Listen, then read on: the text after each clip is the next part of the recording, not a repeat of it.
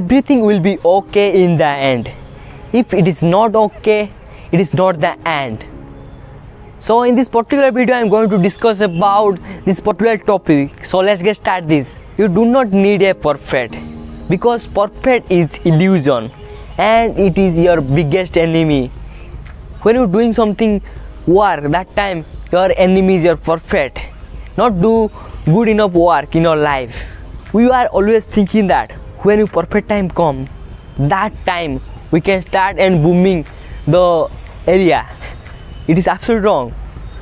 Because your expertise if you not fulfill that time you are very frustrated that time. You feel regret. So you need start zero. And whatever your equipment like if you create some video you don't need a huge amount of set setup and huge amount of camera and high quality light and many more. You don't need. You just need a mobile phone and then you choose a topic and create video then post it. That's the that's the main thing. But you thinking very exclusive perfectly? That's why you fail. So you need always give yourself not perfectly. You start something day whatever thinking right now like if you think that create video then just create. If you want running just run.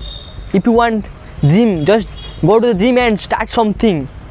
Small way not huge movement guys if you start fitness you day every day you consistently five push up and just consistently doing something not huge amount starting today 20 30 push up and uh, many more things that's why you two three day your motivation is over and you wake up your everyday morning.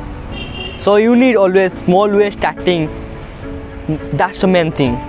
You don't be worry. You don't need make mistake. You feel if i do mistake then you opportunities remove that is absolutely wrong because opportunity is not remove you back the opportunity. That's the new thing always doing always whatever thinking right now doing right. See, remember that. You don't solve your problem with your worrying. Why? Because when you're worrying that time you're minding some randomly thought. That's why your thought process is very negatively express your mind. Your subconscious is very feel bad. Your level is decreases. You need day by day small step and increase your level. Increase your your whatever want increase that. That's the main thing. Everything will be not finish that particular moment you need always trying this particular moment small step. If you not do then you will be fail definitely. Thank you for watching this video. I hope you love this video. Thank you. Thank you so much